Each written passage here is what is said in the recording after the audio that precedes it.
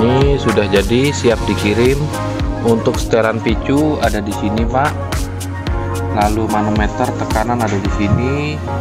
Ini tekanan rekomendasi untuk full powernya pakai Samyang Hunting itu tekanan 3400 Pak. 3400 terus isi, eh, minimal isinya tekanannya itu uh, 2000 PSI jadi setelah 2000 PSI harus diisi anginnya lagi karena nanti takutnya nanti anginnya langsung habis ngejos karena ini kan speknya kan karena yang lebih keras Pak.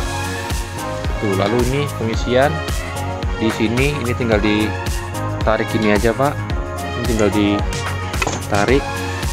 Jenisnya ini micro copper stainless. Ini ini tinggal ditarik. Lalu sistem larasnya itu ke knockdown Pak. Baut pengunci laras ada di sini. Di sisi satunya juga ada. Jadi kalau mau ganti laras mudah. Ini tinggal dikendorkan saja lalu larasnya tinggal ditarik. Lalu untuk eh, diameter dalam cincin depan ini 16 mili Pak. Jadi bisa support untuk diganti laras diameter 16 mili. Lalu yang di sini belakang ini 13 mili. Lalu ini bagian